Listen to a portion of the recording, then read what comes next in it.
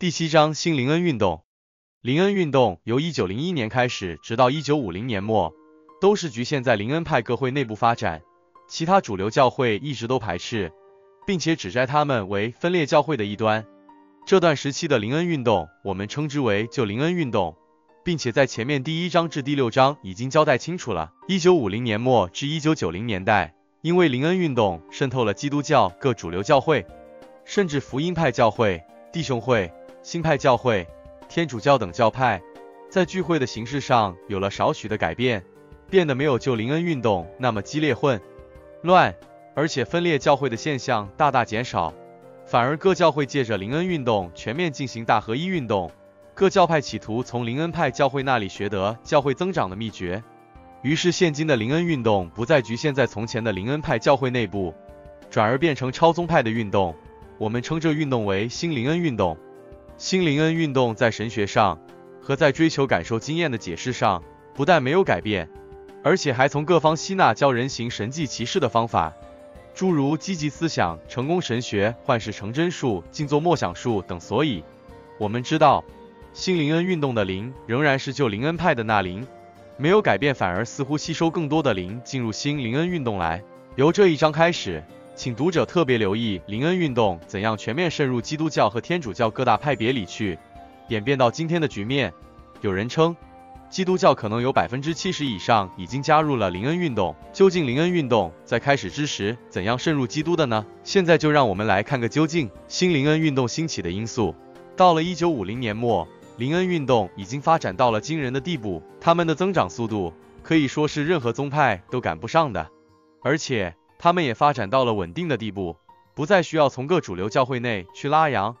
也不再需要攻击各主流教会，好使自己可以生存在一个似乎比较合法的地位。再者，时间也久了，渐渐的，许多人也忘记了他们的起源，也没有注意到他们的混乱，反而他们的增长和个人神奇的经验都是那么吸引人。可是另一方面，基督教各大主流教会因着新神学思想的冲击。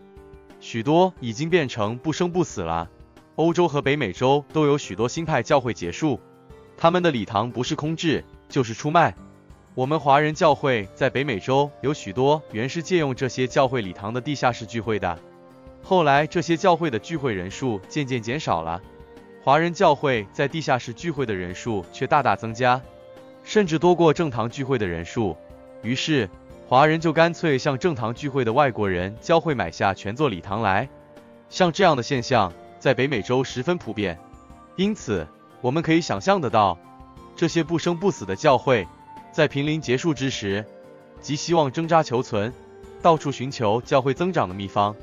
而且，新神学思想使他们的信仰失去了把握。他们既然在理性上认为神迹是不可信的，灵界事物是不存在的。甚至神极可能死了，这就是新神学派所创的所谓神死神学。他们内心就出现极度的矛盾：一方面不信圣经里面所记载的神迹启示，另一方面又想挣扎求存。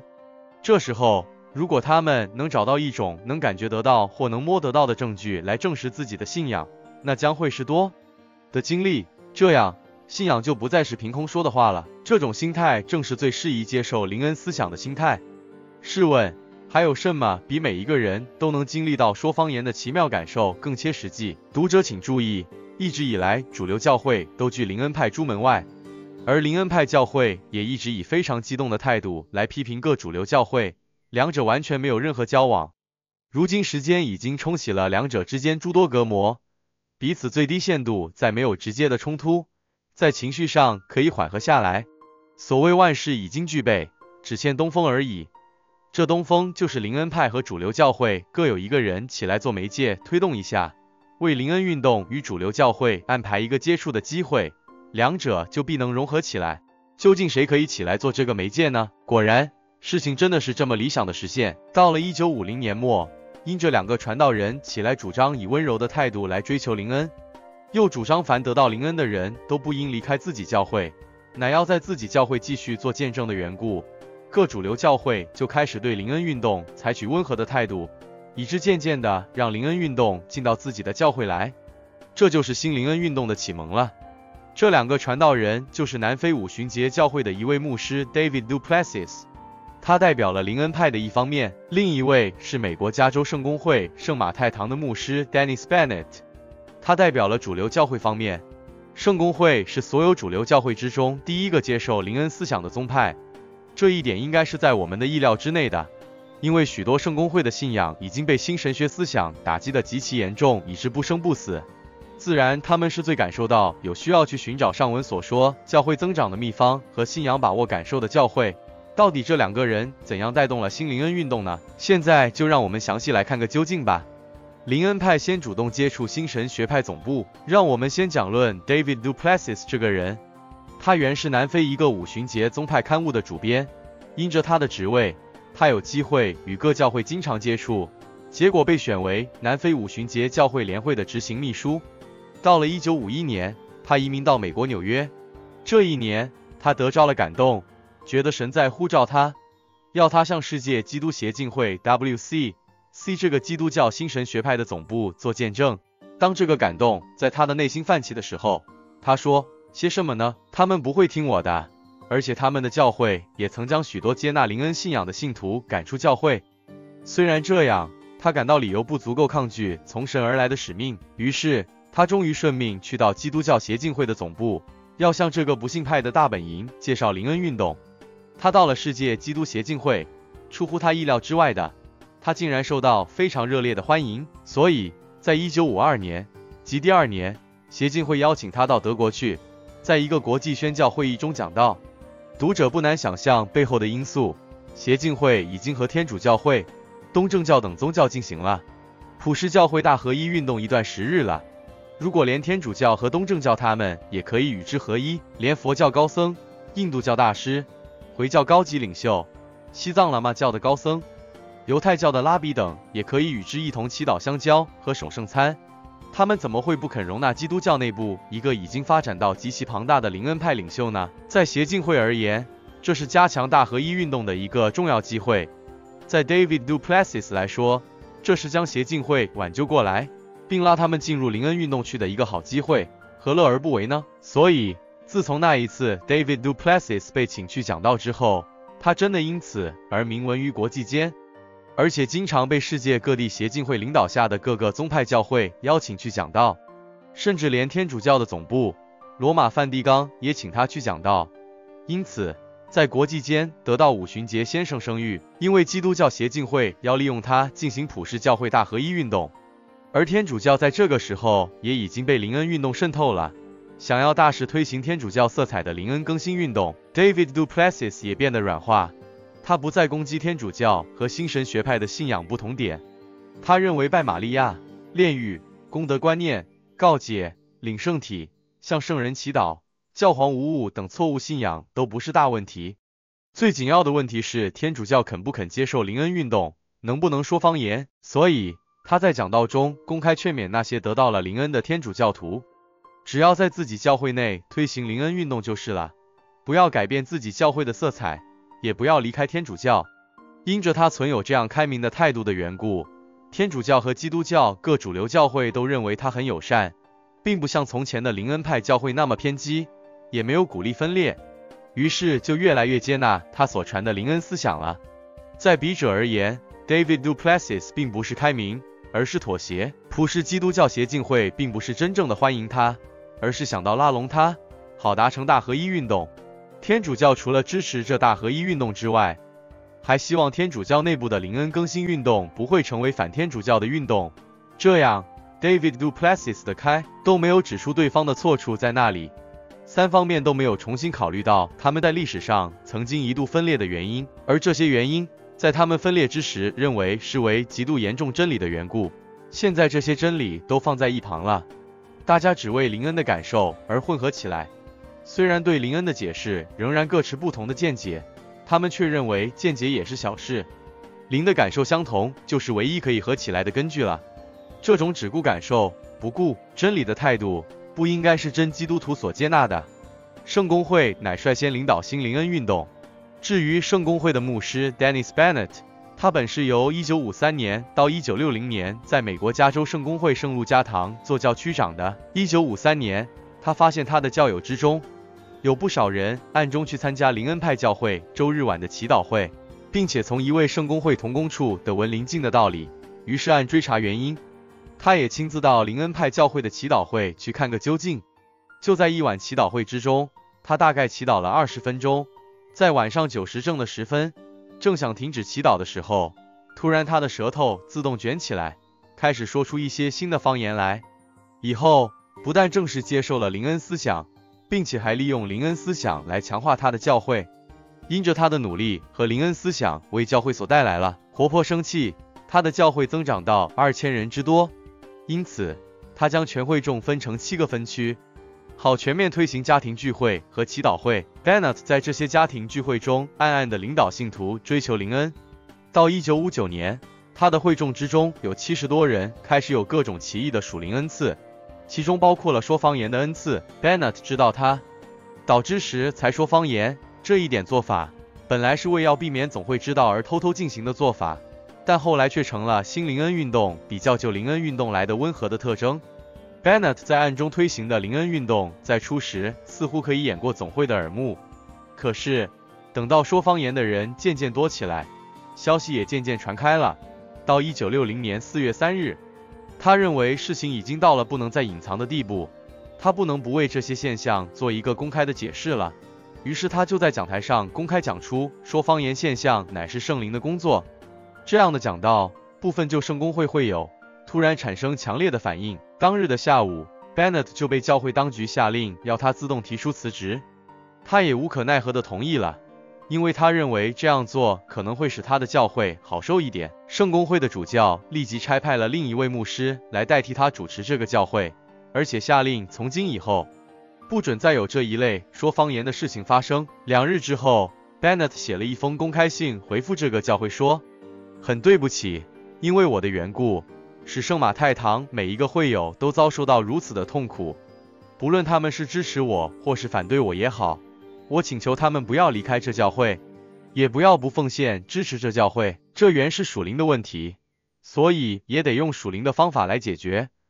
我认为让圣灵自由的在我们圣公会里面工作是最重要的。我一直见证这是圣灵自己的工作，我还要继续见证。我知道我们这样的见证并是不孤单的。因着这样心胸阔的表白，Bennett 得到很多人的同情。结果，他被邀请到美国西雅图圣路加堂这间小教会去侍奉，在这里，他得到宣讲灵恩运动的自由。不久，他就越来越被各教会所认识，被各教会邀请去为灵恩正道。因着他的讲道，基督教各主流教会也渐渐的接受了心灵恩运动。Bennett 的做法还是与以前在美国加州圣公会圣路加堂的做法一样，他劝勉与他接触各教会的信徒们。在自己家庭内暗中举行灵恩小组，免得遭受到自己教会牧师的反对。这样，等到这些小组的人数在各教会内部渐渐多起来的时候，牧师突然发现灵恩运动已经控制了他们许多的会众，就立即感到要制止，也无法制止了。Bennett 以小组的方式进行是十分聪明的，因为这些家庭小组在做些什么事，各教会的领袖完全不知道。在教会公开聚会里面。Bennett 则不准他们公开说方言，也不准他们分裂教会或离开教会，乃要尽可能保留在自己的教会里面暗中做见证。所以，在不知不觉之中，各教会突然发现自己的会众已经有许多人说方言和接受了灵恩思想，这时已经为时已晚了。许多时候，即使教会的牧者及早发现会众有灵恩思想，却因为他们对灵恩运动毫无认识，也没有研究。所以，当那些已经接受了林恩思想的会友提出反问之时，这些牧者也不晓得怎样回答。此时，他们若要制止，会众也认为这样的制止是无理的压制，于是局面更趋恶化。在这样的情况之下，不少教会就渐渐的变质，外表仍为某某宗派教会，按其实质已经成为新林恩教会了。不错，林恩运动确实为这些教会带来很大的增长力，这是最吸引各教会的地方。因此。初始反对 Bennett 的加州圣公会，后来也转过来接纳林恩运动。稍后，连加州圣公会主教帕克 James Pike 也接纳林恩运动。单单是加州，到了1963年，就有200名圣公会会友会说方言了。因着他的影响，许多圣公会成了主流教会之中最先变为新林恩派的宗派。在以后的十年间，主流教会会说方言的平信徒就增加到一百万之众。路德宗和老长宗教会接着加入新灵恩运动。Bennett 在西雅图得到传讲灵恩的自由后，因着他的影响，在一九六零年的早期，连路德宗教会内也有一小组牧师和平信徒热心的接受灵恩更新运动了。其中一位就是 Larry Christensen，他是刚从路德会圣保罗神学院毕业出来的传道人。他感受到自己有一种难以形容的缺乏。最先他感到稍微得到满足的。是他亲眼看见在圣公会内举行的神医聚会，他认为这就是他所感到缺乏的东西，于是他经常参加这样的神医聚会，直到他对神医有了更深的认识，而且日后神医也成为他自己的侍奉之一为止。到了一九六零年十二月，在一个教牧人员的特别聚会中，他发现其中有几位参与神医侍奉的牧者，也有哥林多前书十二章所列出来的各种恩赐。也包括了说言的恩赐等。八个月之后，他被邀请到在美国加州 San Pedro 去出席的一个灵恩大会。在这聚会之中，他切切的祈求圣灵赐给他这些恩赐，但始终没有得着。回家后，他祈祷到了深夜，突然他发现自己竟然用一种不明的语言说话。他指出，这种方言的祈祷成为他灵修中最宝贵的部分。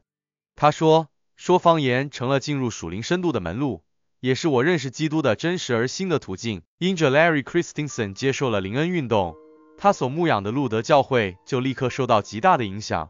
一方面是聚会的人数大大增加，另一方面是带动了其他路德宗的教会也渐渐的接受起灵恩运动来。这个趋势在路德宗教会内部发展的非常快，可以说除了圣公会之外，最厉害受灵恩运动影响的宗派就是路德宗。因此。到了一九七二年，路德宗教会的总会在 Missouri 举行了一次会议，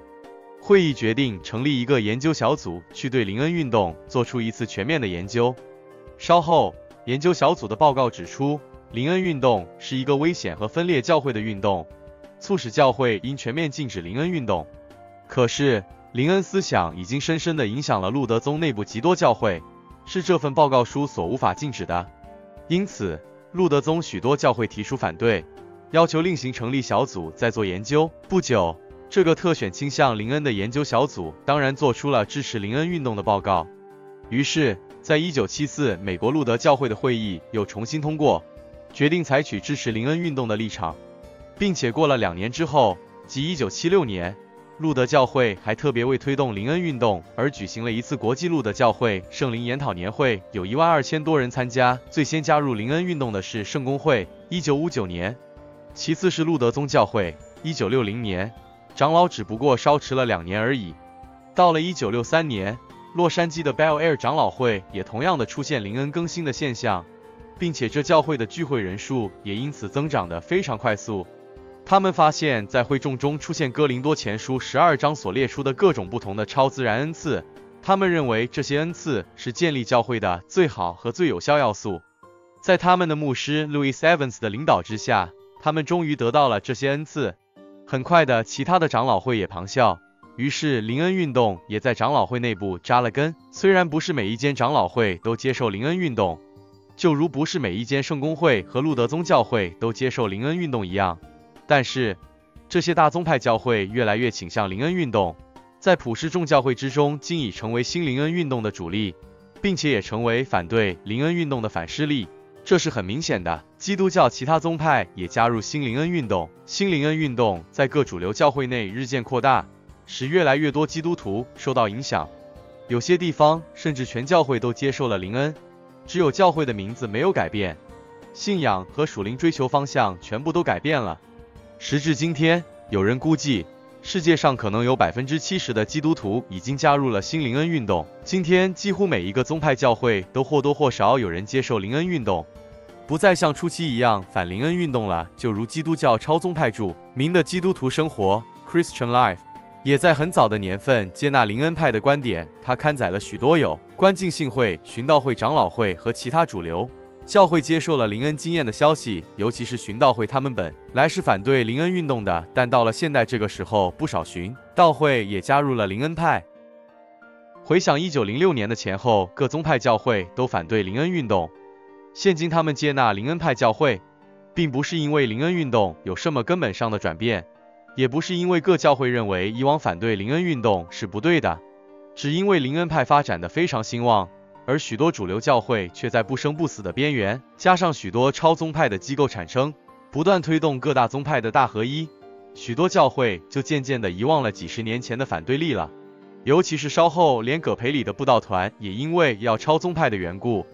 处处讨好天主教各基督教各大宗派，所以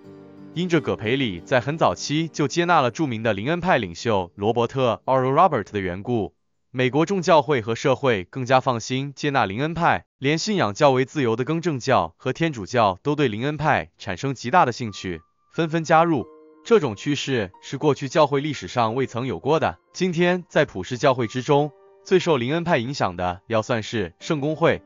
天主教，其次是信义会、长老会、浸信会等。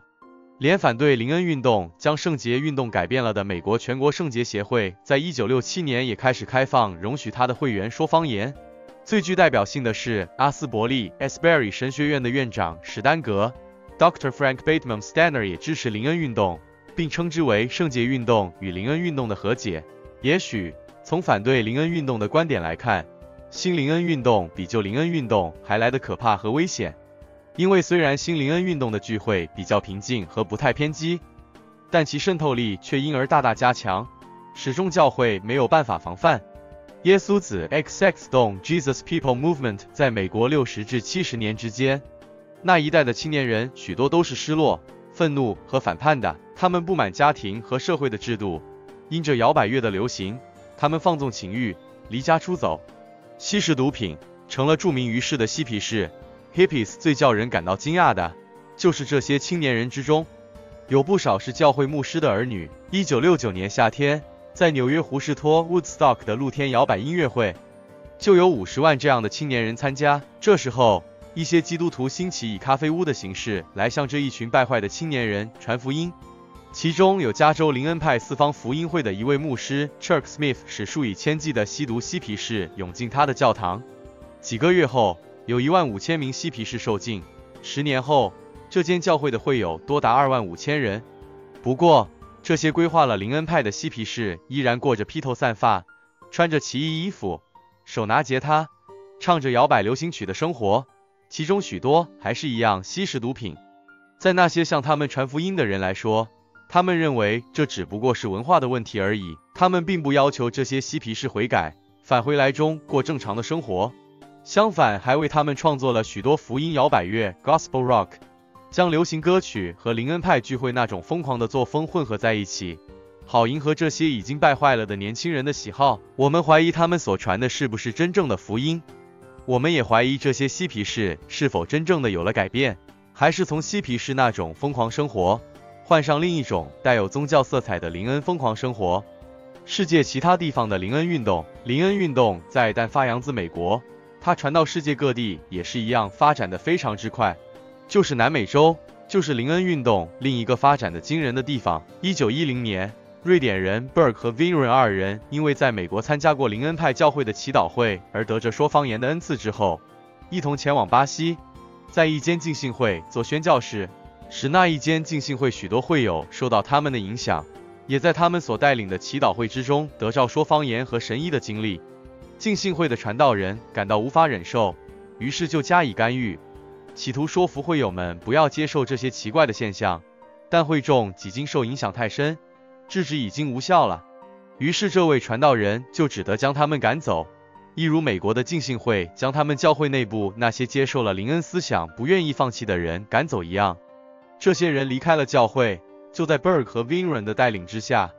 组织了第一间在巴西的神召会，有十八名信徒。天主教的灵恩更新运动，上文提及，连天主教也接受了灵恩运动，并且与基督教共同以灵恩方式进行大合一运动。究竟天主教是怎样开始灵恩运动的呢？在我在这里先稍作介绍，在下一章我们还要详细讲论。天主教接纳灵恩运动是由1966年天主教的杜奎纳大学 Duquesne 开始的。当时有两位讲师看了两本灵恩运动的书，十分羡慕得着说方言的恩赐，几经查访，得知附近有一家长老会的信徒，家中常常举行林恩式的祈祷聚会，于是上门拜访，并且说明来意，结果得到这对夫妇的接纳。这两位天主教大学的讲师就在这个查经祈祷会中得着了灵恩，并且将之带返大学，传给全体学生，使该大学极多天主教的学生说起方言来。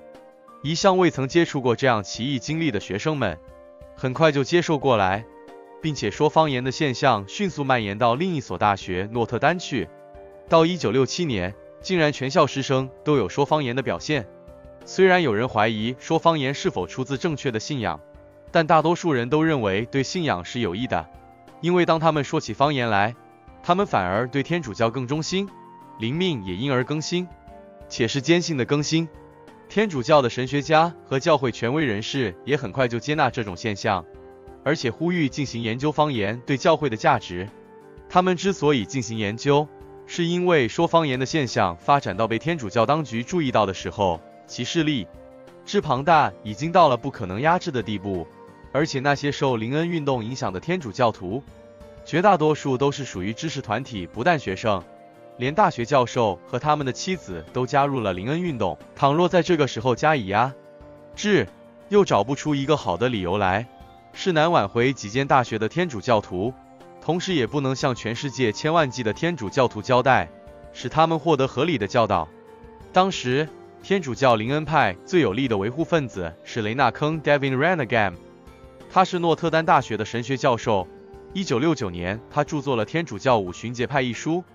他在书中指出，新灵恩运动没有传统的旧灵恩运动那种情绪激动的狂热表现，反而使天主教徒更忠于他们的教会，对玫瑰经更深的尊敬。到了一九八零年，灵恩运动在天主教发展的如火如荼，前后只不过两年的光景，天主教已有三万人经历到说方言的现象了。到一九六九年十一月。美国天主教的最高领导阶层也认同这个新运动，他们宣称此时不能抑制这运动，只能容许它发展下去。事实上，他们也急需要时间，让他们的神学家去搜集资料加以研究，然后才可以做出判断。只是研究功夫实在无法在时间上追得上灵恩运动的发展速度。但教天主教最高当局较为放心的，就是这新灵恩运动并不鼓励天主教徒离开教会。从许多报道看来，林恩运动反而使天主教徒们更热爱天主教教会。这一点可以使他们的研究功夫不用太着急，也可以从友善的角度去看林恩运动。结果，林恩运动得以在天主教内部以及顺利的速度发展，可以说比在基督教众主流教会中发展的更快、更顺利。时至今天，由梵蒂冈领导、数以万人参加的大型林恩研讨大会已经有许多次了。并且天主教和基督教在灵恩方面进行的大合一运动也进展得极其顺利，是有史以来未曾有过的现象。详情请参阅下一章，我们将会做进一步交代。结论：反对灵恩运动的势力变得薄弱。灵恩运动起源于美国，但其著作和神学知识却发展在英国。原属圣公会的维斯利约翰开始了圣洁运动，由圣洁运动演变成灵恩运动。灵恩运动得力于圣公会的牧师。将之推广成为新灵恩运动，英国圣公会又将之神学化，再由长老会信徒推广至天主教，成为天主教的灵恩更新运动。时至今天，圣公会、路德宗教会、天主教都渐渐变成支持灵恩运动。这只不过是许多例子的其中几个而已。在主流教会内，陆续不断有其他宗派教会也受灵恩运动影响，在美国各地不断有许多超宗派的灵恩大会举行。一九九零年八月十五日，在美国的印第安纳州举行了一次北美圣灵与普世宣教大会，参加者有五万人之众，主要成员是来自天主教、基督教各灵恩教派教会、基要派各教会，包括长老会、浸信会、寻道会、无宗派的自由教会、新神学派各类教会、犹太教拉比、全福音商人团契。和许多神学院的代表人等，可以说是包罗万有。由此可见，新灵恩运动发展到了八零代之时，已经到达非常庞大的地步。许多一向反，自行决定自己的选择，主要原和冒犯许多已经接受了灵恩运动的主内友好。所以，余下少数反对灵恩运动的教会似乎都受到压力。再不能太随便的压制信徒不去接受灵恩运动了。虽然时至今天，仍有少部分教会反对恩运动是偏激的教派。反而人人都指着那些仍然反对灵恩运动的保守教会是偏激的。就以香港在 XX 年一月八日香港时代论坛所刊登的正是圣灵的能力研讨会报道性文章来说，他们就公开评击反对灵恩运动的人视为将神学与灵恩对立，是一个很大的错误，并且称赞灵恩运动为一个从经验入手去做的神学。也是从神人直接相交而建立的神学，这是灵恩运动对福音派神学的叶线。他们能够公开发表这样的言论，并且获得到广大的支持和接纳，使他们可以放心在第二年三月底邀请第三波灵恩运动的领导人 John Wimber 等人到香港去主领更新全能布道的神医布道大会，大大影响香港极多素来不曾接触灵恩运动的信徒和教会倾向灵恩运动，引起许多牧者的不安。由此可见，新灵恩运动已经在各教会内部有了相当的地位。灵恩运动在拉丁美洲的众教会当中约占了四分之三，在意大利非天主教的教会中占了三分之二，在南美占据十分九，在俄国、斯堪的纳维亚和法国最大的自由教会也是五旬节教会。到了一九七零年，灵恩运动已经发展到无法估计的地步，单单是美国已经有四百万信徒是灵恩派教徒。其中半数是在主流教会和极多的独立教会里面。有人估计，现今全世界基督徒之中，约有三亿是灵恩信仰的。